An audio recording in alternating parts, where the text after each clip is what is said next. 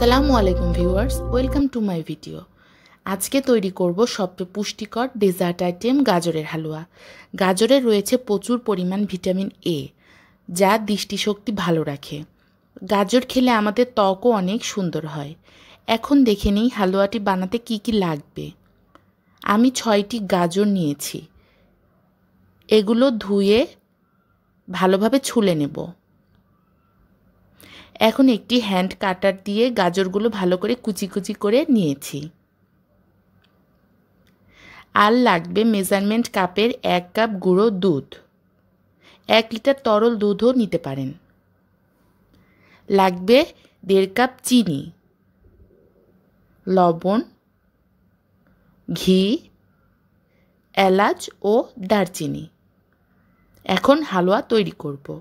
তার জন্য চুলায় একটি প্যান বসিয়ে গরম করে নিয়েছি। এখন তার ভেতর তিন চার চামচ ঘি দিয়ে গরম করে নেব। আর তার ভেতর দিয়ে দেব আস্ত দারচিনি ও মুখটা একটু ফাটিয়ে রাখা এলাচ। ঘিয়ের ভেতরে এগুলো ভাজলে হালুয়ার ফ্লেভার অনেক ভালো হবে। এখন দিয়ে দেব কুচি করে রাখা গাজর।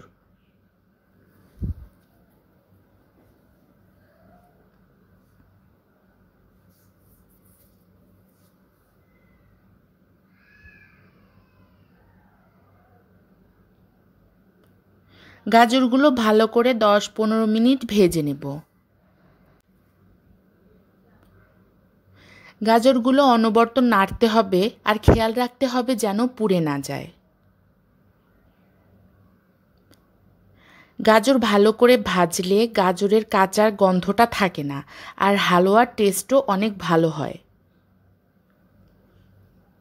চুলার আঁচ মিডিয়াম রেখে দশ পনেরো মিনিট ভালোভাবে ভেজে নিতে হবে।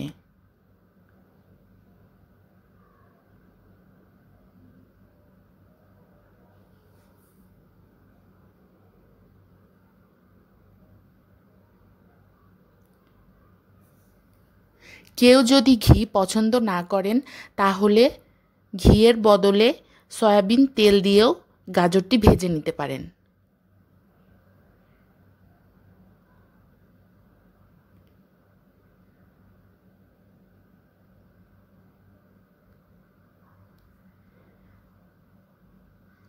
আমি পনেরো মিনিট গাজরটি ভেজে নিয়েছি, এখন এর ভিতর দিয়ে দেব এক লিটার পানি।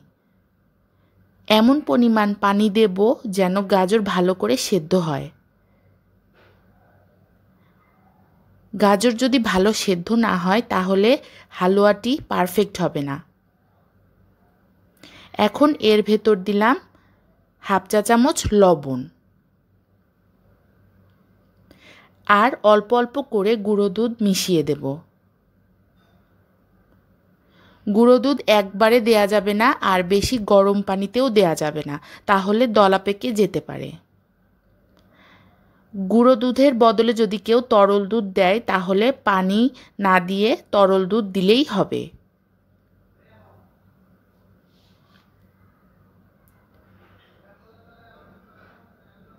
হালুয়াটি ফুটে উঠেছে। পানি কমা পর্যন্ত অপেক্ষা করছি। হালুয়ার ভেতরে পানি কমে গেছে, এখন এর ভিতর দিয়ে দেব দেড় কাপ চিনি।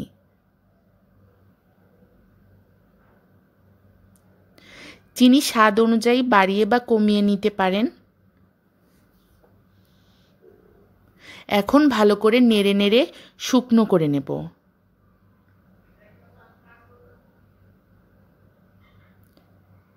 তৈরি হয়ে গেছে সহজ উপায়ে পুষ্টিকর ডেজার্ট আইটেম।